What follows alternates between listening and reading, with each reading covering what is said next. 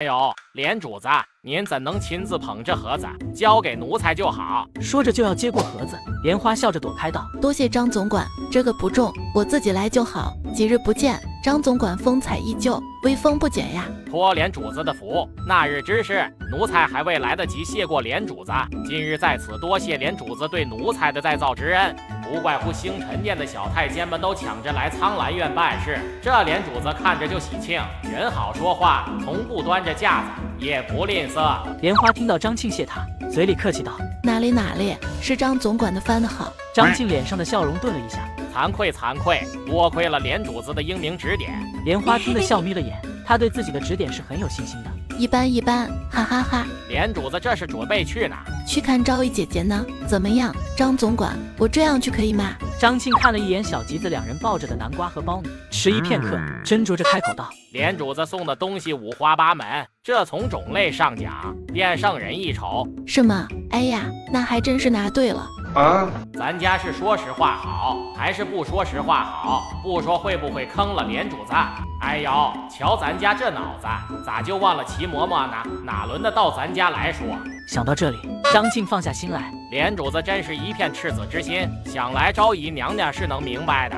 莲花冲着张庆点点头，笑意盈盈地说：“嗯，多谢张总管，那我们便去了。”张庆应了一声，便让开路，目送莲花等人离去。这时，后头端着首饰的小太监低声提醒道：“张总管，万岁爷给莲主子的赏赐怎么办？”张庆脸上笑意顿时凝固。哎呦，想起来了，赶紧去追莲主子。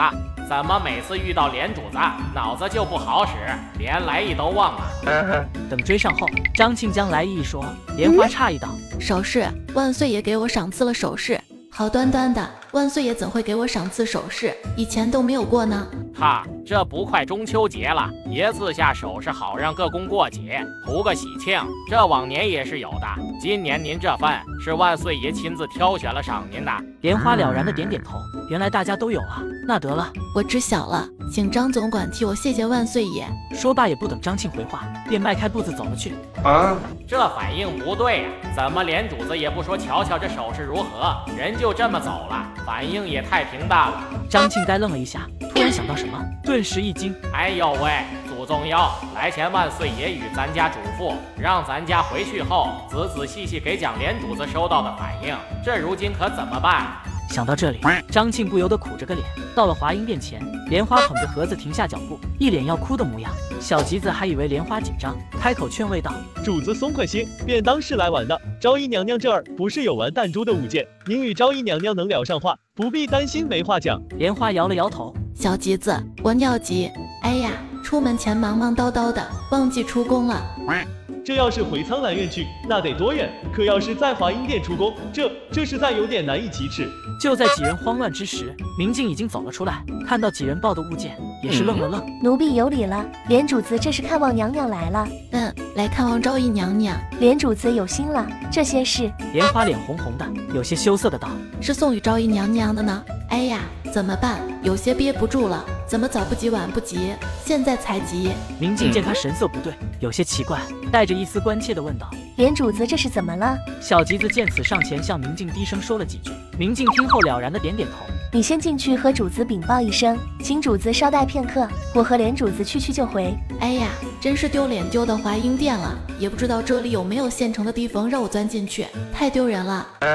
等莲花回来，就见徐昭仪背着身等在了先前她离开的地方，旁边小吉子几人低着头在一旁。莲花赶忙上前行礼道：“参见昭仪姐娘娘。”徐昭仪回过头来，大步朝着莲花走来。既然姐姐都叫了一半，又何必改口叫娘娘？起来吧，往后不必行这些虚礼。莲花直起身子，有些羞涩。亮娘，姐姐久等了。徐昭仪摇摇头。我先头满身臭汗，刚更了一来，刚来你便回来了，不曾等什么。接着徐昭仪仔细看了看莲花，气色很不错，看来皇帝将你养得很好。如今宫里头鱼龙混杂，他怎肯让你出来了？嗯，怎么没明白昭仪姐姐说的什么呢？跟万岁爷有什么关系？一旁的明镜无奈提醒道：“主子。”徐昭仪反应过来，心想可别吓着这丫头。可想吃些什么？莲花摇摇头，不用呢，刚吃了来的。先前送你的弹珠，可还喜欢？若是喜欢，店里有整套玩弹珠的物件，稍后带你去玩。莲花听到弹珠，眼神发亮的连连点头。徐昭仪见他这副模样，也忍不住笑了笑。都会些什么？出缸和打地洞都会呢。不错，这两种玩法都很好。进入主店里头，徐昭仪拉着莲花坐下，明镜早已将糕点和莲花带的礼物摆上。徐昭仪这时看着桌上的礼物，也有些发愣。这是瓜子，莲花有些局促的解释道。昭仪姐姐，这瓜子是苍兰院种的，是我们自己炒的呢，想带给您尝尝。是吗？那我可要好好尝尝。说罢，徐昭仪就拿起几个瓜子尝了尝。嗯，很香，妹妹手艺不错。这南瓜苞米都是苍兰院种的。莲花欢喜的连连点头。妹妹真是多才多艺，这苞米和南瓜品相都很好。徐昭仪能看出莲花准备的很用心，当即便对明镜吩咐道：“稍后将这些拿去放好，这几日做成膳食与我尝尝。”明镜点头应下。徐昭仪又接着看向食盒：“妹妹自带的是什么？桂花糕和山楂糕呢？带来请昭仪姐姐尝尝。”徐昭仪点了点头。很不错，这是妹妹亲手做的，食料是我调的，别的大多是小青做的。奶奶不让我下手。徐昭仪莞尔一笑，接着又看向最大的那个盒子，才发现里头竟是装着一柄剑。此剑叫什么？有什么说法？此剑叫什么？有什么说法？见徐昭仪询问，莲花赶忙介绍道：“姐姐，这把桃木剑我取名乾坤剑呢。您瞧，剑阁这里是乾坤，下头是山河，意为兄有乾坤，守卫山河。这个是万岁爷做的诠释。”真是多亏了万岁爷呢，不然以我肚子里的那点墨水，可想不出这么好的词。胸有乾坤，守卫山河。徐昭仪喃喃自语，怔怔地看着手中的桃木剑，看到最后，她竟是弯下腰来，忽然有些不能自已。莲花见徐昭仪这副模样，吓了一跳，连忙过去扶起徐昭仪：“姐姐，您怎么了？这件若是不好，那便那便不要了。怎么看个剑，人就成了这样子？哎呀，是不是这件拿不好？”冲撞了，一旁的明镜也赶忙冲过来将人扶着，急得连以前的称呼都喊了出来。小姐，您没事吧？小姐，小姐这副样子，一定是又想起了战死的未婚夫沈明将军。当年若不是沈将军将生路让给了小姐，怕是小姐早已不在人世。想到此处。明镜既哀伤又忧心，徐昭仪缓过劲来，放下桃木剑，朝明镜示意道：“我无事。”接着转头紧紧盯着莲花说道：“丫头，为何桃木剑上你要刻这样的图案？”莲花被看得不知所措，磕磕巴巴道：“便因姐姐身上气质独特，别的别的都不搭，只有这个，我我觉得和姐姐比较搭。昭仪姐姐这是怎么了？莫不是被这桃木剑刺激到了？哎呀，早知道就刻别的了。”徐昭仪听莲花说完，一把抓起她的手，将其牢牢握住。妹妹，多谢你，这把桃木剑我很喜欢，很喜欢。胸有乾坤，守卫山河，明哥，这就是你的一生啊！这把就是属于你的剑啊！再也没有比这把剑的寓意更好诠释你的一生了。不久后，你的威名将得以昭雪。莲花此时手被捏得生疼，也不敢表露。好在徐昭仪很快回过神来，将手放开。妹妹，你无事吧？莲花松了口气，看着一脸愧疚的徐昭仪说道：“昭仪姐姐，我没事的，您别担心。”姐姐方才对不住了，和你赔礼好不好？莲花听得连连摇头。昭仪姐姐言重了，这等小事怎么也要赔礼？徐昭仪不理莲花，对着明镜吩咐道：“明镜，将桃木剑好好收好。”明镜点头应下。徐昭仪这才看向莲花：“姐姐带你去看好玩的，你看中什么尽管挑选，就当是姐姐的赔礼。”不容莲花拒绝，徐昭仪就将其带到练武场后的一处房间。当莲花看到里头摆设的那一刹那，顿时瞪大眼睛，惊呆了。小木马。蹴鞠、弹弓、箭靶子等等，都是莲花小时喜爱的玩具。我的天哪！我小时候是不是梦过这样的地方？为何这里的每一样都那么合我的心意？莲花不由自主地走上前，伸出手摸了摸小木马。徐昭仪见状，走上前说道：“我扶着你上去骑一下。”莲花抽回手，摇了摇头：“嗯，明明很喜欢，怎么不上去试试？”莲花有些尴尬地解释道：“我已经是大人了呢，不能小孩子心性了。”徐昭仪反应过来，爽朗大笑：“大人也能玩。”我平日里无事也会做做。莲花眼睛一亮，旋即又摇了摇头。出门前，请嬷嬷千叮咛万嘱咐，不让我爬高跳低的。若是在这里出个什么事，会害了昭仪姐姐的。出门做客，我要乖一点。好，我就不强迫你玩了。这些东西留着你下次玩。这个屋子本身就是为了缅怀妹妹而建的，如今能有个妹妹喜欢，东西全送了又何妨？嗯，谢谢昭仪姐姐。再说皇帝这头。下朝后，便立即召来张庆询问莲花情况。送过去的首饰，他可喜欢？每一件首饰都是朕精挑细选的，崔琛的小废品了，戴上一定好看。想到这里，皇帝不由得露出笑容，而张庆则是垂着头，苦着脸说道：“启禀万岁爷，首饰连主子还未曾看，该怎么和万岁爷说呢？可愁死咱家了，这才刚回来当值没多久。”真是出师不利。皇帝闻言有些吃惊，什么？都这时辰了还未起？这都日上中天了，怎的还未起？莫不是这段时日为了给徐荣英准备礼物累着了吧？当初就该打消他的念头，真是失策。张庆头垂得更低了，艰涩回道：“起了起了，奴才去时遇到连主子，只是当时连主子正要外出。嗯，外出去哪？奴才问了，连主子说要去华英殿看望徐昭仪。你就没有和他说首饰之事？”张庆一时语噎：“来了来了，万岁爷果然要问，幸得当时追上连小主了，不然当下都不知如何回话。奴才说了，连主子让奴才转达，说谢谢万岁爷的赏赐。只是连主子他急着去华英殿，还未来得及看。”皇帝沉默半晌，忍了忍，又忍了忍，终于忍不住的冷哼一声：“真是气煞朕也。”这小白眼狼正耗费如此多精力帮他挑选，还在此想他的反应，想东想西的。他倒好，急着去看徐荣英，连看都未看一眼。难不成徐荣英比朕还重要？这小妃嫔当真是皮痒了。张庆怕万岁爷怪罪连主子，连忙解释道：“万岁爷，当时是连主子出了门，奴才才说的。他并非是有心的，出了门若要折返，又需费一番功夫。过儿，哼。”不必再说，明眼瞧着万岁爷就是生气了。连主子怎么就不能先看一眼呢？哎呦，那可是万岁爷的一片心意啊！现在可如何是好？张庆正在心中措辞，就听皇帝接着说道：“张庆，摆下苍兰院，朕要在苍兰院用午膳。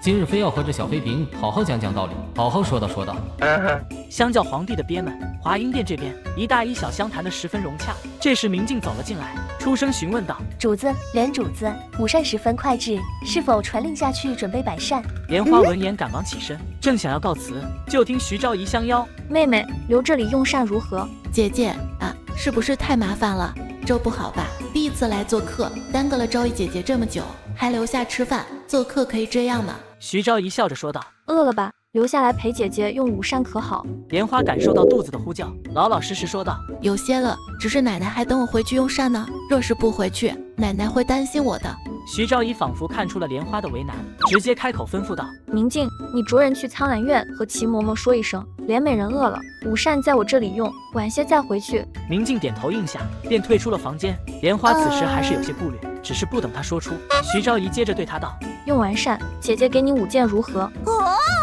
用完善。姐姐给你五件如何？莲花双眼亮晶晶的看向徐昭仪，惊喜说道：“姐姐，你怎么会那么多？起码射箭会，舞剑也会呢，好厉害啊！”徐昭仪见莲花这副模样，不禁乐道：“等你以后方便了，姐姐教你如何？真的吗？那骑马也能教吗？”徐昭仪眼含笑意的点点头：“你想学什么，姐姐都教。”哦，姐姐真好，姐姐像个大英雄一般，什么都会，好厉害，我好佩服呢。华阴殿内，一大一小一幅其乐融融的画面。然而苍兰院内的景象就不太美妙了。皇帝和嬷嬷大眼瞪小眼，气氛沉闷极了。这时张庆匆匆小跑过来：“万岁爷，华英殿徐昭仪派人来说，连主子要用过午善才能回来。”皇帝闻言叹了口气：“朕知晓了。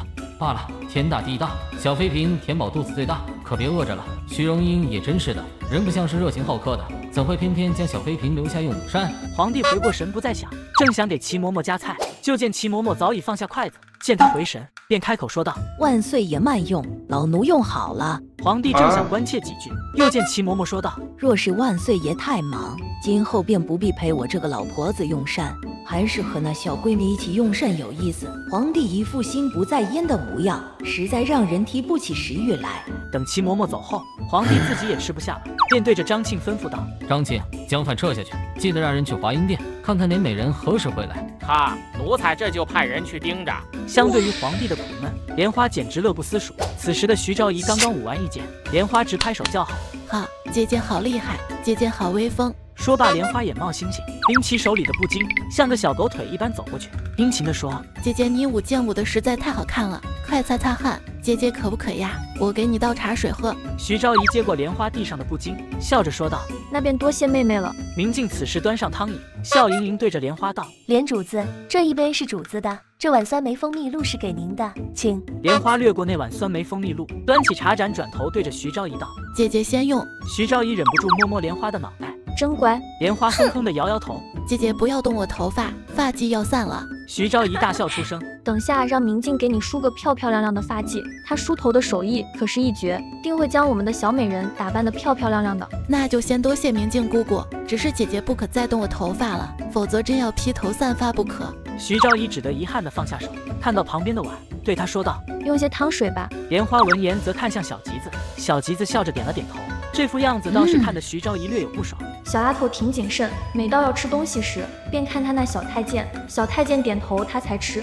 在姐姐这里，尽管放心，姐姐不会害你。说罢，又忍不住伸手薅了薅莲花，莲花被逗得哈哈大笑，哈哈，不是的，姐姐，哈哈哈，我不知道我能吃什么，不能吃什么。莲花笑得双颊红扑扑的，想要将身孕的事告知徐昭仪。姐姐，我……徐昭仪赶忙截住他的话，你想说的我已知晓，不必再说。今后这些事，皇帝让你说你再说，不让你说便不必管，听他的安排便好。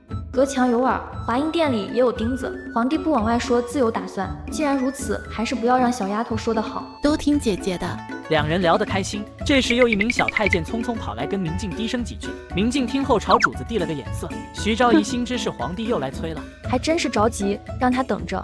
明镜无奈的摇摇头，主子这性子啊，哎，已经来了两个小太监了，还是接着想个由头打发了去吧。苍兰院中，皇帝嘴上说着别催，实则却是等得抓心挠肺。张庆，连美人还没消息，回禀万岁爷，连主子用过膳后，正在歇息，说是歇息好就回。皇帝心中盘算了一下时辰，不由得叹了口气，这个时辰恰恰是那小妃嫔午歇的时辰。罢了，还是等人歇息后再说吧。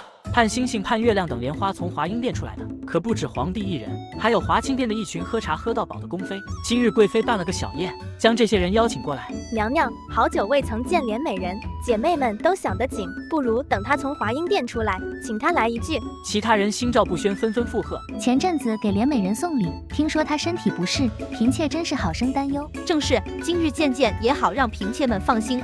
贵妃闻言笑了笑，妹妹们有心了，想必莲美人知道了，定会感怀于心。既如此，彩霞，你带几个人到华英殿外头等着，等人出来便请他过来一句。彩霞点头应下，便退了下去。此时殿内有个不长眼的妃嫔开口道：“若是孙妹妹在就好了。孙才人最看不惯苍兰院那位，有她在，场面定然好看。”殿中热闹的气氛忽的一滞。孙才人是染病出宫，各妃嫔都以为是贵妃的手笔，让得贵妃有口难言，只能安抚的笑笑道。等人病好了就回来了。孙才人吉人自有天相，定会完好回来。有了这句话，场面又重新热闹起来，众人都开始期盼苍兰院那位的到来。只是好半晌过去后，依旧没有人来。这华英殿到贵妃娘娘的寝殿也没多远，为何迟迟不见她的身影？想必是路上有事耽搁了，咱们再等等。众人起初还有些笑容，只是接连一个时辰过去也不见人，就连贵妃脸上都没了笑容。这都过去一个时辰了，也不见连美人的身影，想来她有事，不如妹妹们改日再聚。娘娘，嫔妾瞧着时间尚早，不如再等等。薛贵妃也不想错过这个千载难逢的机会，当下便是点了点头。而在御花园的一处亭子，彩霞几人在此等的花都要谢了。突然，一个小太监惊呼道：“姑姑，彩霞姑姑，人人！”彩霞此时正等得焦躁不耐，闻言顿时呵斥道：“住嘴！咋咋呼呼像个什么话？美得坠了咱们华庆殿的威风！”不是，彩霞姑姑，你瞧那边！彩霞闻言转头望去，只见莲花几人正有说有笑的往此走来。彩霞提了口气，狠狠说道：“都听好了，把莲美人和她底下的人都请回去。若是漏了一个，事了了有你们好果子吃。”几人心头一震，连忙点头应下。齐嬷嬷那老货不知好歹，仗着先太皇太后和三品诰命的有功身份，倚老卖老，连娘娘的面子也敢不给，所以万万不能让他来搅糊了娘娘的好事。想到这里，彩霞低声和几个小太监再次嘱咐：“等下你们几人围过去，把去路堵住，见机行事，将主子和奴才全部请走。”是。莲花这边几人正说的高兴呢，突然小青看见前方几人似是来者不善。小吉子，你瞧瞧那几个人是不是等咱的？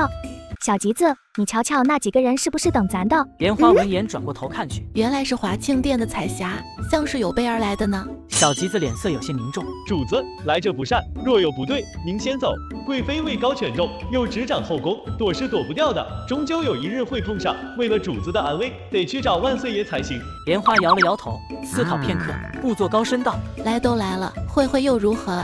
塞翁失马，焉知非福。”啊！这么严肃的时刻，主子还用心思说笑，而且主子有时候用的成语真是一言难尽。主子还是让小青去苍兰院跟万岁爷说说，省得冲撞到您。来不及了，他们已经过来了。话音刚落，就见彩霞带着两个小太监，皮笑肉不笑的走到跟前。莲主子安好，我们娘娘有请。莲花上下打量了彩霞一眼，用气死人不偿命的语气说道：“你是？”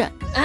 就在莲花跟彩霞玩心眼时，在苍兰院里，皇帝都等成望夫时了。再等下去，都该摆晚膳了。那小妃嫔怎的还没回来？万岁爷，奴才派去的小太监回话说，在回来的路上啊。只是，这是什么？在御花园的小道看见了华庆殿的彩霞，带着几人守在莲主子回来的路上。嗯，原来如此，想来是薛贵妃的主意。张庆，你派几个身手好的护卫过去盯着。张庆点头应下。哈，奴才这就去安排。曹德纳斯查出来的香膏来自薛贵妃，孙才人招供的却是周常在，似乎隐约有人在暗中将所有线索引导指向薛家，可真有意思。再说御花园这边。彩霞被莲花这副模样气得不轻，硬生生扯出一个僵硬的笑容。莲主子真是说笑了，奴婢是谁不重要，重要的是贵妃娘娘对您很是关切，在华庆殿已等候多时，您到了便知奴婢没有骗您，还望莲主子能赏个脸，去华庆殿与娘娘一叙。彩霞特意将等候多时咬得极重，然而莲花却是哦的点点头，用满是不赞同的语气说：“哎呀，你这奴婢怎的不早说？耽搁了大半日，贵妃娘娘降罪可如何是好？”彩霞气得差点跳起来，小吉子二人则是在旁边辛苦憋着笑。论其人的功力，若主子说是第二，那就没人敢称第一了。彩霞憋着气咬牙说道：“莲主子，请吧。”莲花有些失望的叹了口气。华庆殿的宫女就是不一般，比李美人的强多了，竟然不接茬，可惜了。费了一番功夫，总算把人带到了门口。莲主子，您稍等，奴婢去通禀娘娘一声。莲花点点头。等彩霞离去，莲花瞧着眼前高大巍峨的殿宇，忍不住和小青嘀咕起来：这么高，冬天的风儿吹进去都能转几个圈，不知保不保暖。天儿马上就要冷了，算看着真冷。小青也抬头看看，审视了一番，最后下结论道：嗯，废炭火。小吉子听得好笑，主子真是一副没心没肺的模样，都不想想一会儿咋应对贵妃娘娘。哎，真不知如何是好，见招拆招吧。华清殿内，贵妃听闻人到了，直起身子，有些急切的道：“来了，快让他进来。”彩霞应了一声，便匆匆小跑出去。其他妃嫔皆是精神一振，彼此对视一眼，眼中皆燃起熊熊的战意。片刻后，在众人万众期待中，莲花总算出现了。嫔妾见过贵妃娘娘。贵妃瞥了莲花一眼。挤出一个笑容，起来吧，莲妹妹能来，真令本宫的华庆殿蓬荜生辉。莲花能觉察到头上落了很多道探究的目光，淡然的起身，抬头左右望了望，观察了正殿一周，笑盈盈说道：“娘娘，您的殿里头刻画雕彩，锦瓣珠帘，确实光彩夺目，十分贵气。”啊，这莲美人到底是真傻还是假傻？每次冒出的话都让本宫不知如何接下去。贵妃默了默，重新温和的客套道：“听说前阵子莲妹妹身体不适，现下可好了？”莲花愣了一下，娘娘何出此言？我什么时候身体不适了？嗯，哦，对了，是上次各位妃嫔来苍兰院拜贺时，齐嬷嬷用的借口呢。想到这里，莲花忧愁的说道：“嗯，还有些不适，是好是不好的，说不大好呢。”咦，这面色红润、唇红齿白的模样，还有些不适，这是骗鬼呢。吩咐人赐座，别让莲美人身子不舒坦了。嘿嘿，嫔妾多谢娘娘。片刻后，莲花笑眯眯的落座，看着桌上的茶水，糕点有些发愣。我记得贵妃娘娘不是挺财大气粗吗？怎的今日茶水这么淡，连糕点都这么少？哎，看来这年头连贵妃日子也不好过，要节一缩实起来。莲花抬头望去，瞬间觉得贵妃就连钗子都不如以前贵气了，于是露出一个同情的眼神。贵妃一直关注着莲花，瞬间看懂了她眼中的同情，心中不由得怒火中烧。这连美人看落魄户一般的眼神看本宫是什么意思？该死的，又盯着本宫头上的钗子作甚？本宫这头上的钗子可是孤品，还有一副怜悯的样子看着茶水作甚，莫不是以为本宫舍不得放茶叶吧？贵妃气得心口发疼，脑仁突突直跳。这时，不待见莲花的假才人率先开口讽刺道：“莲美人真是好生朴素节俭，头戴的绢花莲品不算，身着的衣裳还如此朴素无光，无半分刺绣，真真令人敬佩。”莲花看向下手的假才人，脸有些熟，却有些记不清了。你是？不等假才人出声，莲花接着说：“呃，想起来了，你原来跟在流霜殿的李美人后头吧？”我记得你，原来是假妹妹，失礼了。啊，这莲美人是故意的吧？肯定是故意的，假装不记得我，又提起李氏那个贱人，真是晦气。贾才人鼻子都气歪了，却还是得忍着回。正是嫔妾，急于扳回一城。贾才人又道：“不知连美人这身行头是哪做的？实在太过敷衍了事。嫔妾不才，对衣裳做工略懂一二。若是连美人有需要，嫔妾可以教你一教。”莲花摇了摇头：“我也不清楚呢。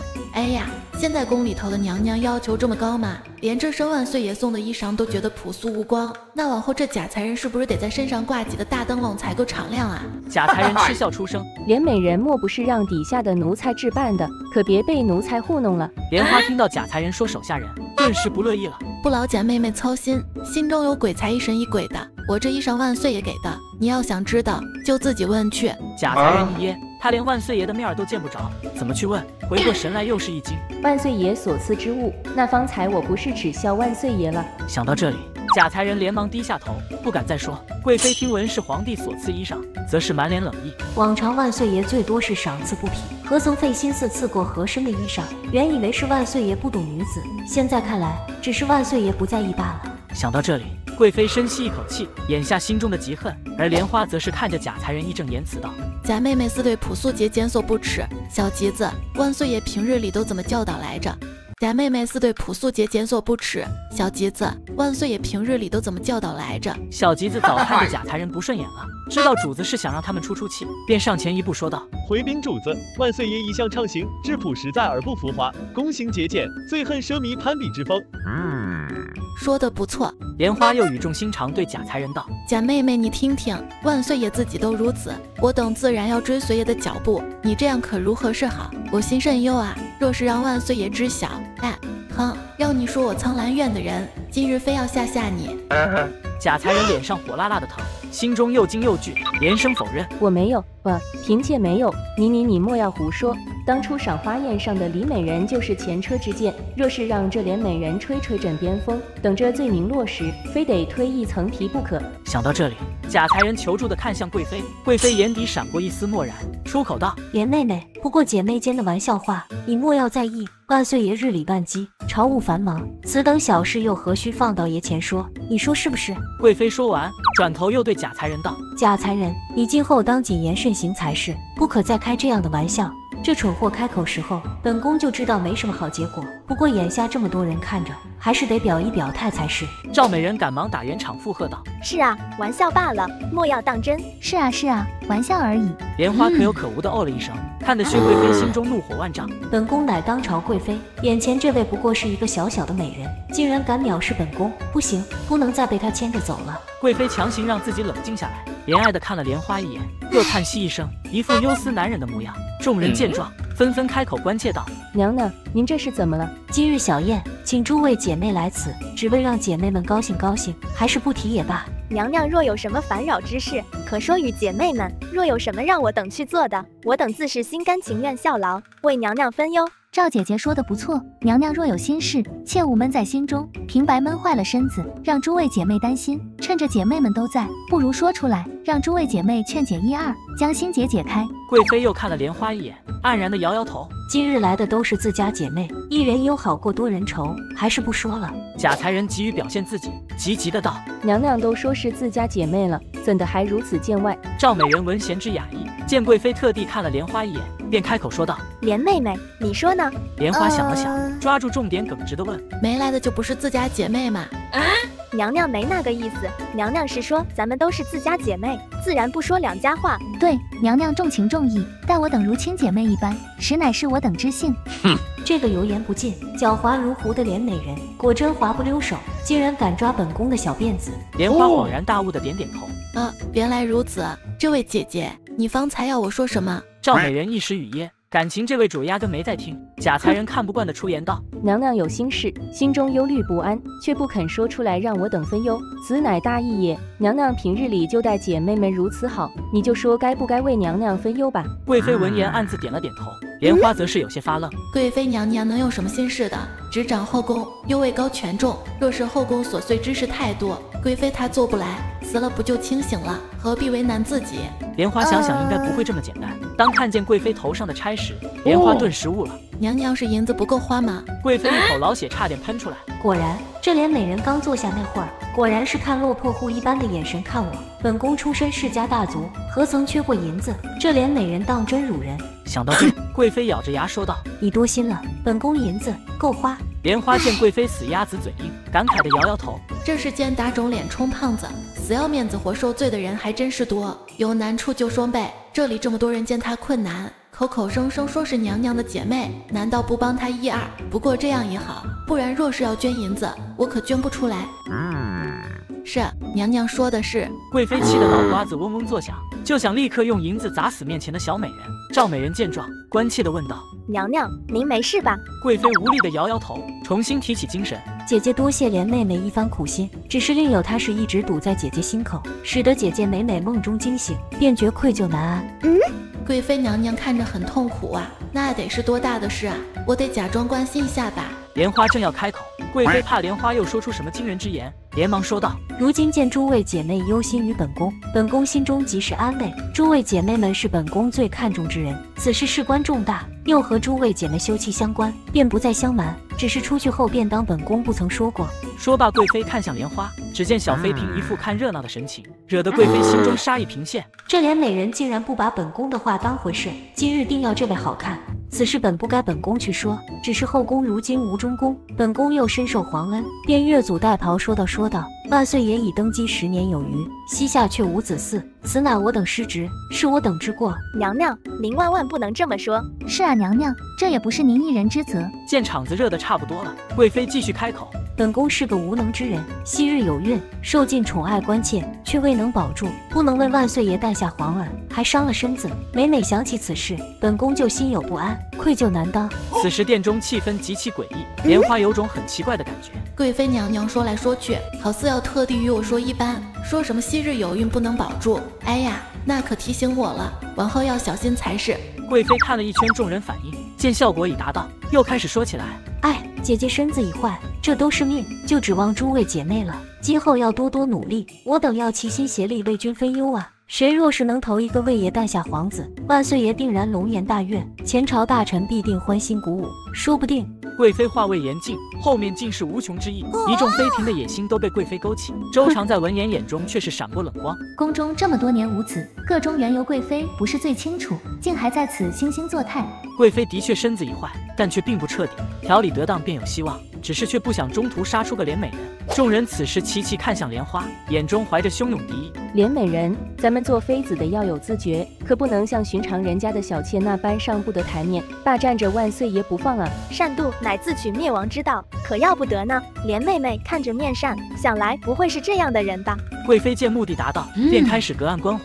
小吉子心中愤慨。暗自着急，这群人不怀好意，演了一出大戏，明里暗里说主子霸着万岁爷不放，将主子推向后宫所有人的对立面。若是今后万岁爷不宠幸其他人，便是主子的不是。小吉子怕莲花被绕晕，便想开口。贾才人眼尖的看到他想动，顿时出口道：“哎呦，莲美人身后的奴才是怎么了？莫不是想出宫吧？虽没有规矩，可我们做主子的也不是苛待之人，要去便快去。”莲花闻言看了一眼小吉子，就知道贾才人又在胡说八道了。这贾才人三番四次针对我的人是何意？想到这，莲花不客气道：“贾妹妹，你有口气。”啊，贾妹妹，你有口气。啊，你说什么？莲花接着一脸嫌弃的又痛心的说道：“好大的口气啊！你不知吗？呃看你是不知，定然是久闻其臭而不知其臭，你自己闻闻看，先管管自己的口气吧，莫熏着了姐姐妹妹们。”贾才人终是反应过来。苍兰院这位竟然指桑骂槐，那我嘴臭，真是欺人太甚。莲花见这假才人不太聪慧的样子，懒得再理他，对着众人笑盈盈的道：“诸位姐妹确实懂我，我这人长得好看，品行高洁，万岁爷也常常这么夸我呢。哎呀，夸我的照单全收就是了。只是万岁爷是万万不能推出去的。”见众人脸色并不好看。莲花狡诈一笑，万岁爷乃千古明君，勤政爱民，仁厚礼贤，待后宫更是宽厚无比，能伺候爷是我等之福分。诸位姐妹方才说不能霸占万岁爷是吧？我深以为然。贵妃听闻此话，都是来了精神。她可不信这位主能这么简单顺了她的心意。只见莲花又是叹息，又是摇头，似是有些无奈。可万岁爷一直要来，我有什么法子爷能垂爱于我？我心中又惶恐又喜不自禁，唯有谨遵本分，好好伺候万岁爷。却是做不得万岁爷的主的。众人一听，顿时气炸了。这连美人实在可恶，说的滴水不漏，吊着我们的胃口。话锋一转，全推到万岁爷头上，让我们反驳不得。莲花脸上故意带着天真懵懂，就想气死这些人。人不犯我，我不犯人。这帮人口口声声姐妹，却满含敌意。我又不傻，顺着他们才怪呢。哼！贵妃满含冷意，朝着赵美人使了个眼色。赵美人见状，顿时开口道。莲妹妹，你我虽同一品级，可我年纪比你大个几分，便唤你一声妹妹如何？莲花笑着点点头。莲妹妹来了这么久，方才又说了如此多话，怎的不喝茶润润嗓？贾才人听到这话，也阴阳怪气的道：哟，姐妹们都喝了，就连美人不喝，莫不是嫌贵妃娘娘制的茶不好喝吧？真是好大的架子！贵妃心中赞许，露出一丝阴冷的笑意。赵美人还是有几分聪慧的，总算提到了茶。这茶可不简单，普通人有活血之效，然而有孕之人喝了却会滑胎。就算事后出了问题，本宫也最多不过是失茶之罪。莲花一脸看智障的眼神扫了一圈这些人，不可可就不喝，这不是很简单的道理吗？说罢又抬头对着贵妃道：“娘娘，其他姐妹们好似在帮您，可惜这杯茶。”我也觉得怪浪费的，刚刚才说了要节俭，这杯茶虽很寡淡，可不喝终究是可惜。贵妃眼含期盼，急切的想知道莲花是会喝下，还是会坦白有孕之事。只见莲花铿锵有力的道：“若不然就倒回去好了，给更有需要的姐妹们喝。”贵妃还没反应过来，就见莲花转头对小吉子吩咐道：“小吉子，你们几个把这茶水分给其他娘娘们，都小心点，别洒出一滴来，贵妃娘娘会心疼的。”小吉子笑着点头应下，节俭节俭，主子放心，奴才不会浪费的。贵妃闻言怒不可遏，凤目圆瞪，终于控制不住的怒喝一声：“够了！今日若是由这苍兰院这位将茶倒回去，明日本宫就要成全后宫的笑柄了。”莲花闻言不为所动，娘娘您说的够了，是这茶不要了吗？还是说其他姐妹们茶喝够了？其他妃嫔倒吸一口气，这莲美人好胆量，贵妃娘娘明眼看着就是生气了，而她仿佛无知无觉般，还敢问够了是何意？这是吃了豹子胆了吧？贵妃心肺都要气炸了，后宫何时有人敢如此质问于她？不过一杯茶罢了，莲妹妹不必如此，不想喝便不喝，无妨。莲花装都不装了，现下她已然十分不耐，不依不饶说道：“可是万岁爷说过要节俭的呀，我又不渴，这茶也不能浪费，怎么办是好？”贵妃闻言险些又要控制不住了，正想说些什么，突然一道声音传来：“说得好，爱妃所言极是。”话音落下，一道明黄色身影便徐徐走进殿内，见到来人，莲花惊喜出声：“万岁爷！”皇帝朝他示意的点点头。接着开口道：“当今名声多艰，大到朝政国事，小到一粥一茶，都当节俭。我等受尽民间供奉，更该如此。爱妃能从小事中身体力行，朕心甚慰。”皇帝已在殿外听了一段时间的墙角，见事态有所失控，便连忙走了进来。这些人居心不良，竟敢挑拨朕和他的感情，其心可诛。好在小妃嫔够机灵，不枉朕平时的教导。贵妃没想到皇帝会突然出现，慌忙起身走下行礼，参见万岁爷。不知万岁爷来了，有失远迎，臣妾等实在罪过。哼，若不是朕来得巧，恐怕会错过这场精彩的大戏。朕不在时，个个张牙舞爪，这会又如此乖巧，不去唱戏真是可惜了。皇帝不理众人，扬起嘴角，漫步走到莲花跟前。今日出来这么久，可累了？莲花起身笑盈盈说道：“不累呢，爷怎么来了呀？是来找臣妾的吗？”嗯，朕回去用了午膳，又等了等，见你还未回，便出来看看。嗯，臣妾和嬷嬷说了的呀，去昭仪姐姐那做客了，也回去了。怎不派人来和臣妾说一声，这样臣妾就回去了呀？莲花看了贵妃一眼，计上心头，掐尖嗓子娇滴滴说道：“哎呦，爷真是，怎可亲自前来？实在让臣妾受宠若惊，臣妾实在心有不安，愧疚难当。哼，这些冠冕堂皇的话，我也会说的呢。”皇帝满含笑意的看着他装模作样，接着深深的看了贵妃一眼。薛婉君平日装的极好，让朕一直认为她温婉大度，处事得体，没想到却在背后拉帮结派，公然排挤他人。好啊，野心果然被养肥了。贵妃低着头维持行礼姿势，听到莲花的话，顿时被气得不轻。不过更多的却是难过。不过才短短半日不见而已，皇帝竟然亲自来寻，本宫已多日不见万岁爷，又何曾见爷出现过后宫？顽皮，开罚！皇帝伸出手薅了薅莲花头发，惹得莲花直摇头。哎呀，万岁爷莫有徐昭仪姐姐将臣妾发髻弄乱了，这可是明镜姑姑梳的呢，是臣妾最好看的发髻了。啊什么？徐荣英竟然还揉了她头发，岂有此理！那可是朕才能做的事。罢了，回去再和这小妃嫔算账。想到这里，皇帝将目光转向其他妃嫔，冷冷开口：“方才是谁要逼连美人喝茶？”赵美人深知自己躲不过，惶恐不安的请罪：“回禀万岁爷，臣妾只是见连美人进殿多时，怕她口渴，故而故而问她喝不喝茶，并不曾逼迫。”贾贵人被吓破了胆。语无伦次地说：“万万岁爷，臣妾臣妾也是关心连美人，怕她渴着了，没有逼迫的，没有的，请万岁爷明察。”皇帝冷哼一声，看向假才人的方向：“你是假才人？”假才人顿感不妙，声带颤抖地回道：“是，正是臣妾。”长舌之妇，曹德纳斯查出便是此女，在各宫散布小妃嫔有孕之事，虽然多半是被人诱导利用，不过也当真是荒唐。想到这里，皇帝厌恶地看了假才人一眼。既如此长舌，这舌头。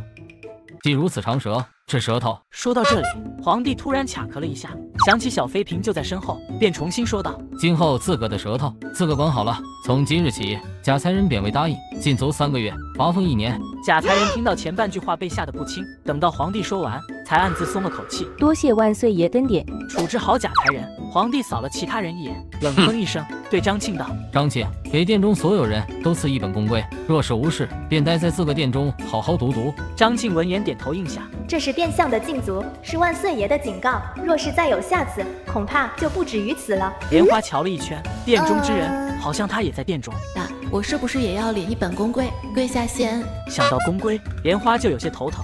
还不等他想明白，皇帝便出声道：“连美人，跟着回院。”等皇帝带着莲花离去后，殿中的妃嫔皆是松了口气。好险！若不是假才人，不对，假答应挡了灾，得不到好下场的人，兴许就是我了。贵妃被人扶着，一动不动地看着皇帝和莲花远去的方向。娘娘，是不是都退下吧？好好回去读读宫规，省得被万岁爷嫌恶。万岁爷是比登基之时已收敛了许多，但本宫知晓，他雷厉风行的铁血手腕依旧在。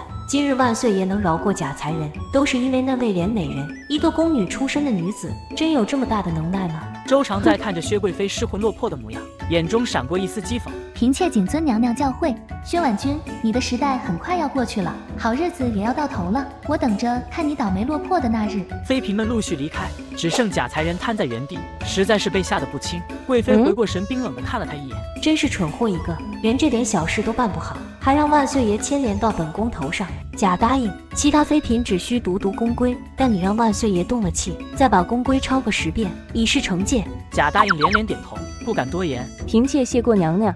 再说皇帝与莲花这边，莲花以诚恳的姿态，认真拍着皇帝马屁。万岁爷，您可真厉害！一个眼风看过去，所有人都不敢说话了。皇帝不咸不淡的点点头，这次可不会被小妃嫔甜言蜜语所迷惑了。这回该罚的，一样都不能落下。莲花自顾自的感慨道：“万岁爷，您说若是我能那么厉害，那该多好呢？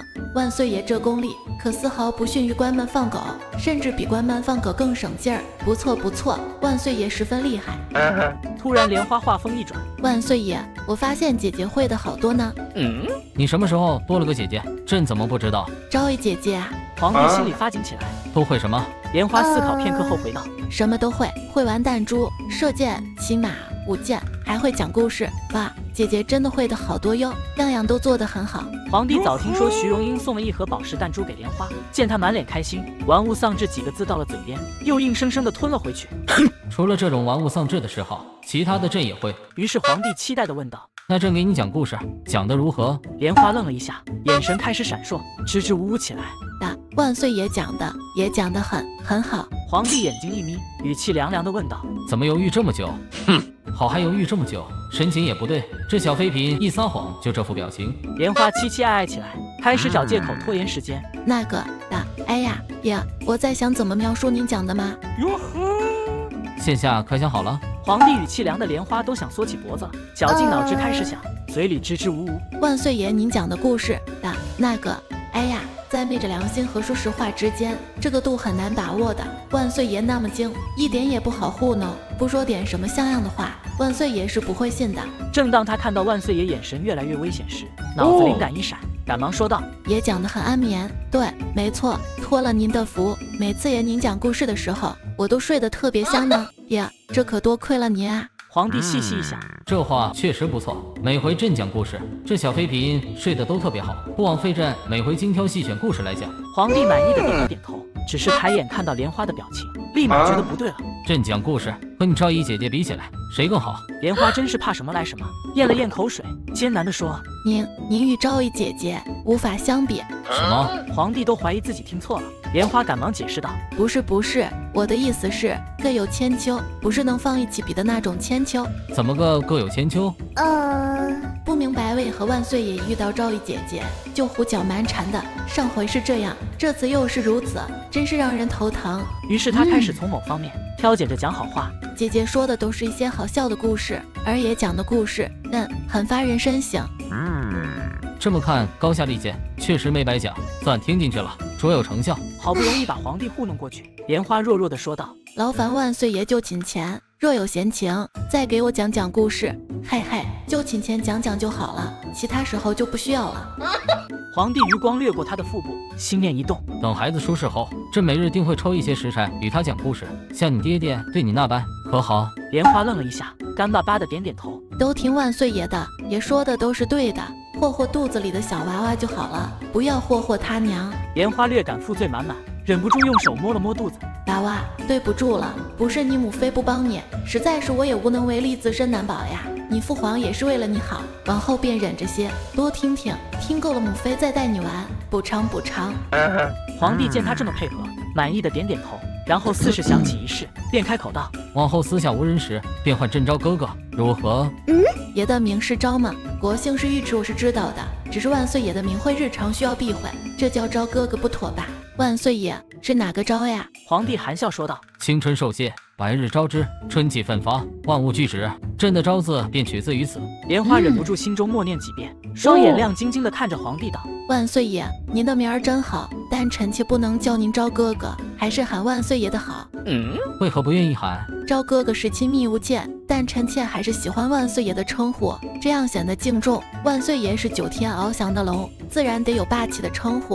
哟呵，小妃嫔这张嘴除了会吃，拍起马屁来，也毫不逊色。罢了，不急这一时。皇帝这时又开口问道：“你的乳名叫囡囡，大名一直都是莲花？”皇帝并不是觉得名字不好，只是担心是因入宫避讳而改了。莲花闻言，则是理所当然的道：“对啊，没有其他名。”莲花像个老头子一般叹息一声：“本来兴许是有的，但后头没有了。此事说来话长，还得从当年的一段往事讲起。本来兴许是有的，但后头没有了。此事说来话长，还得从当年那段往事讲起。”莲花清了清嗓子，装腔作势的说道：“很久以前，很远的南面有座城，城里有户人家，这户人家是城里排得上号的大户，家里卖的青露茶很是有名。”嗯总之，这户人家日子过得那叫一个和和美美，红红火火。这便是你家？那么莲花之名又缘何而来？原来青露茶还真是他家所不外传之秘，喝过的人少之又少，难怪朕从不知晓。莲花被打断了，忍不住瞪了皇帝一眼，道：“万岁爷，听说可要耐心。”皇帝无奈，只得比了个请的手势。是是是，莲先生，请讲。莲花清了清嗓子，继续讲。方才说到，这户人家过得十分美满。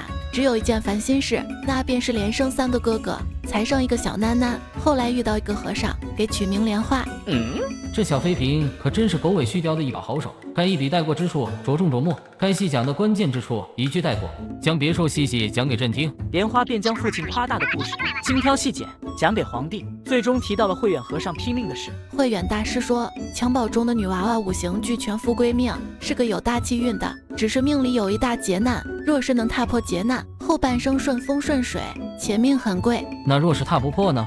这秃驴话说一半，若有劫难，那么劫难因何而来，何时到来，却无半句言语。这个我爹没说过，具体不得而知。嗯，无妨，有朕在，这劫难定然不是问题。莲花笑着点了点头。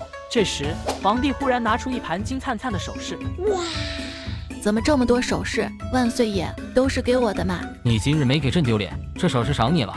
哼，这会移不开眼睛了。那张庆传话时，怎能不多看一眼？莲花不知道皇帝的心思，不敢置信的瞪大眼睛看着托盘里的珠钗环佩，喃喃自语：天上掉馅饼，要发财了。皇帝起初还很满意他的反应，后头的话让他额头青筋猛跳。天上掉馅饼，这小白眼狼想得倒美，不教训一顿，还真以为天上有馅饼了。想到这里，皇帝眼神眯起一个危险的弧度。你这是要把朕给你的赏赐给卖了？莲花矢口否认。哎呀呀，万岁爷怎能这样想？我虽然爱财，但万岁爷赏的万万不敢卖掉。哎，首饰当然没金元宝好了。原本想找个机会把首饰换成金元宝，奈何万岁爷太精，看透了我的想法。皇帝冷哼一声，也不说话。莲花尴尬起来，只好没话找话。万岁爷，哎呦呦，瞧瞧您的肩膀，可真结实呢。瞧着就威武有劲儿，这大抵和您的胸襟一般。胸襟越宽广，肩膀越结实呢。哟呵！见皇帝还是不为所动。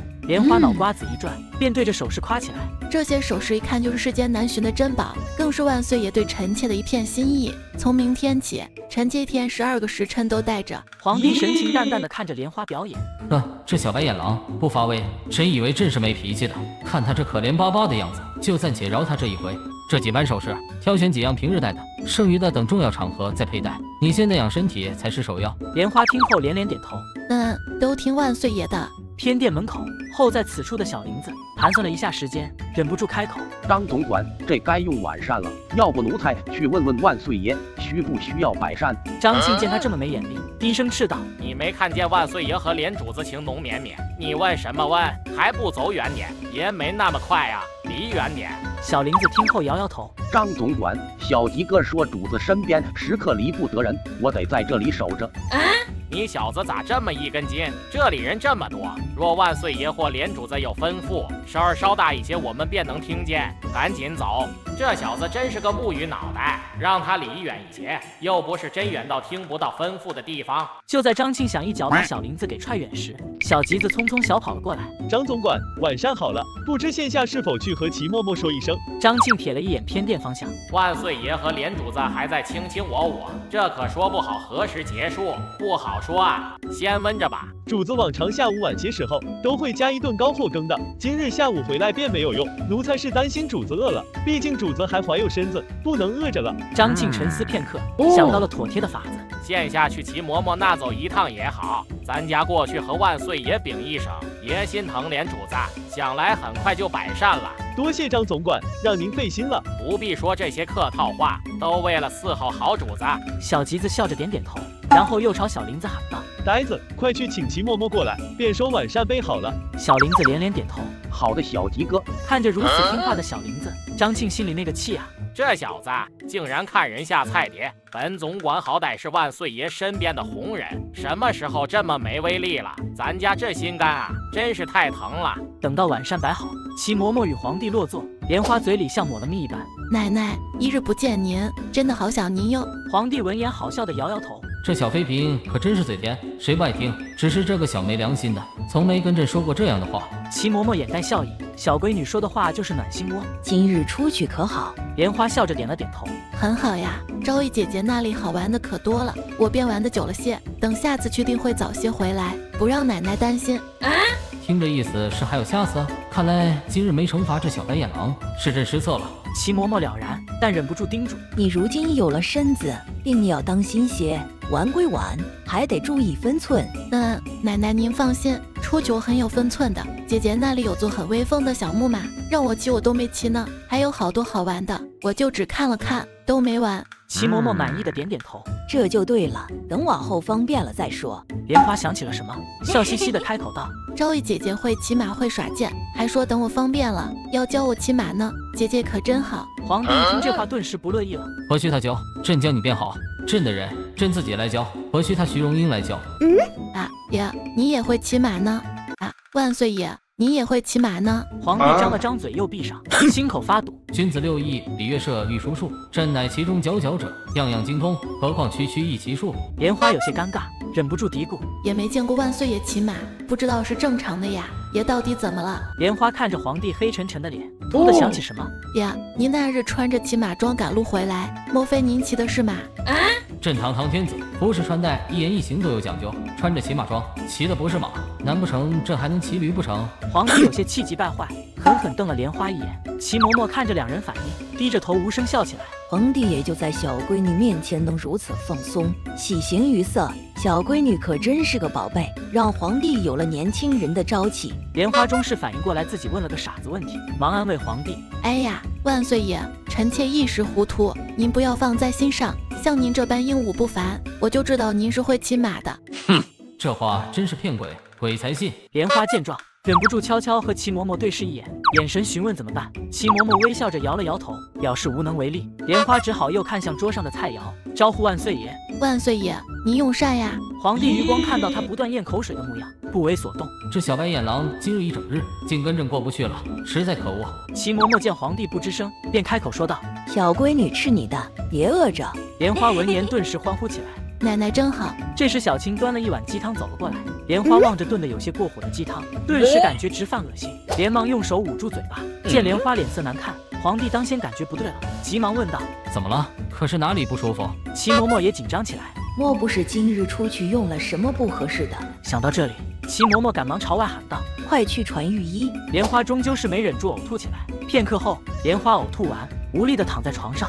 皇帝心疼地看着他，想到他今日去了华英殿和华庆殿，眼神一寒，起身对着齐嬷嬷道：“嬷嬷，人先交给你，朕去去就来。”万岁爷这是要去哪？若是请御医，下头自然有人去。皇帝急得眼睛发红，语带杀意的说道：“此事耽搁不得，朕亲自去一趟。”得亲自将徐荣英和徐婉君提过来。小妃嫔今日只去了两人店里，若是有问题，也跟他们有关。齐嬷嬷看着他像是去杀人一般，心里一惊，赶忙劝阻：“万岁爷，小闺女这是害羞呕吐，先等御医瞧过再做打算。”皇帝一愣，方才他光顾着急，忘了这点。于是皇帝重新坐下，摸了摸莲花的手，感受到莲花的手逐渐有了温度，方才松了口气。张庆，把店里的饭食一一验过，看看是否有问题。张庆点头应下，便退了出去。莲花不曾想自己这一吐，闹出这么大阵仗，强打起精神。呀，我没事呢，只是方才有些恶心，现下好了的。皇帝瞧着他这副虚弱的样子，心疼道：“是朕疏忽了。”就在这时，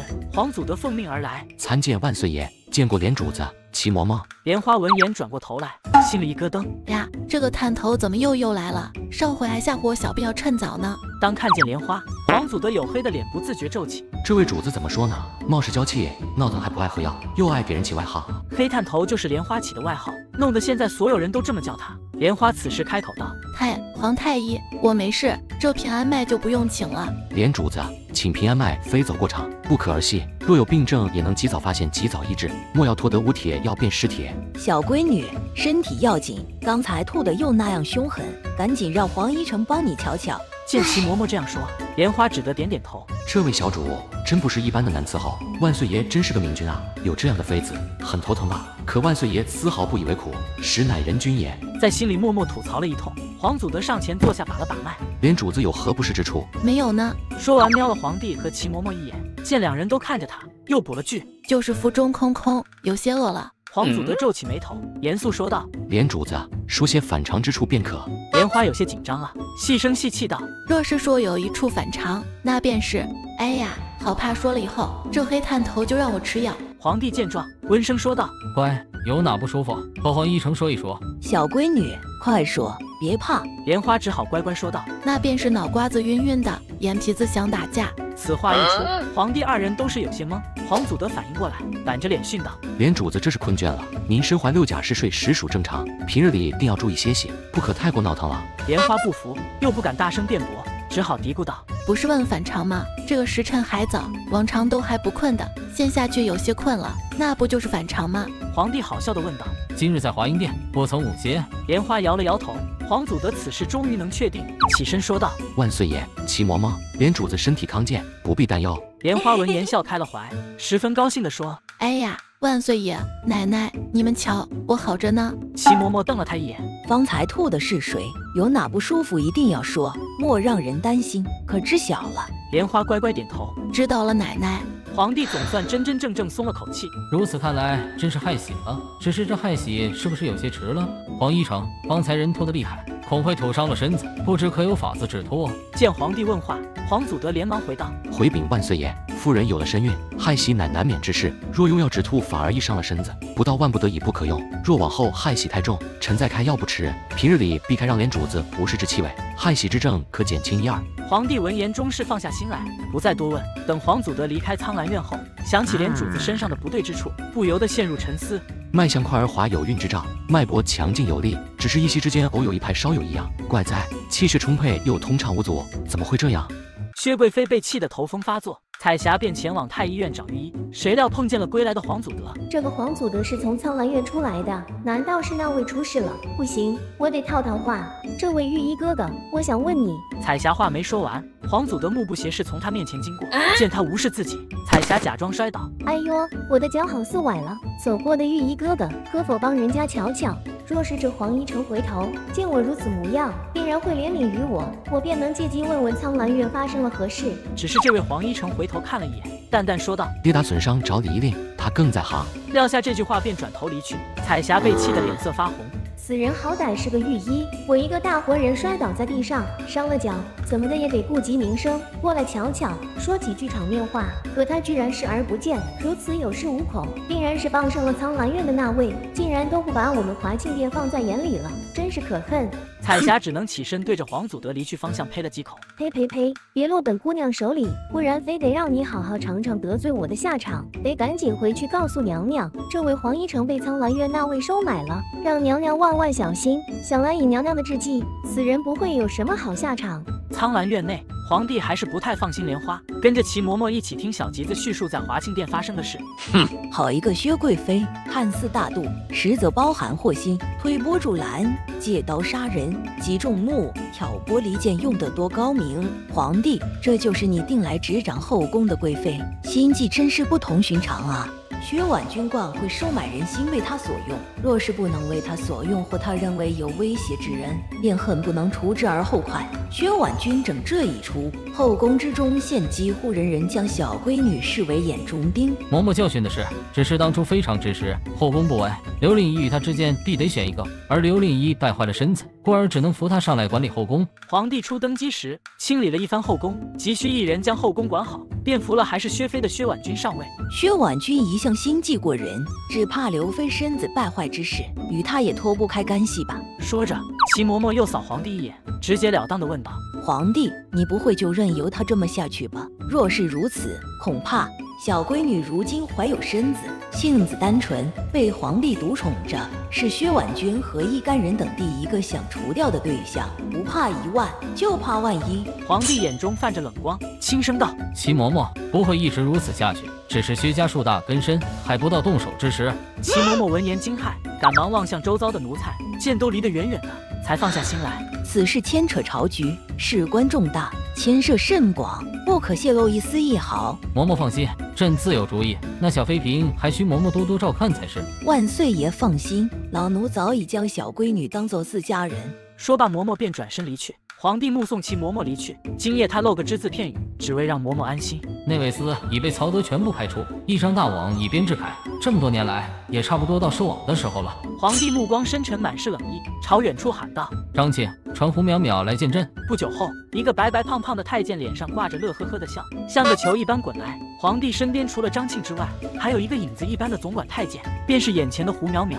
负责万岁爷的安全以及办一些宫外之事。宫里有人戏称说张庆主内，胡淼淼主外。圆乎乎的胡淼淼见着皇帝，便是一跪，嘴里高声喊道：“万岁爷，奴才可想死您了。多日不见，爷您又英伟了些。如今天下太平，和亲海晏，多亏了您的文功武治。您这才尤甚尧舜禹汤。”皇帝一阵恶寒，胡淼淼什么都好，就这狗毛病改不了。狗奴才，赶紧起来！镇长你来不是听这些的。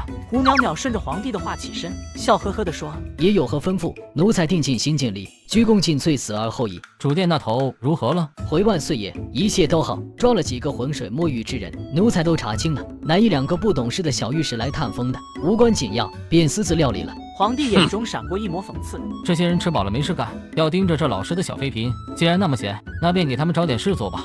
张庆，明日让人拟旨，将此两人调离御史院。正好凉州大营中缺几个文职，让他们过去也好为朝廷效力。胡淼淼闻言，乐呵呵的高声赞道：“万岁爷真是英明神武，让有用之才得以发挥作用。奴才对您的崇敬之情如滔滔江水。”行了行了，别搞这一套。皇帝抬手打断他的废话，接着道：“朕要你派人去查一下连美人的亲人所在，一有消息马上来禀。主殿那头也要看仔细了，切莫出了岔子。”是万岁爷，您是知晓奴才的奴才。不不等胡淼淼说完，皇帝迈开脚步往屋内走去，懒得留在此听他的废话。胡淼淼看着皇帝远去的背影，一阵阵遗憾，转身见到张庆，脸上不由自主堆满笑容。老哥别来无恙，这精神头越发好了，可是有什么喜事？胡总管说笑了，哪有什么喜事？咱家刚犯了错，又病过一场，才干不足，蒙受万岁爷恩典，才得以继续留在爷身边伺候。咱家才不信这家伙不清楚。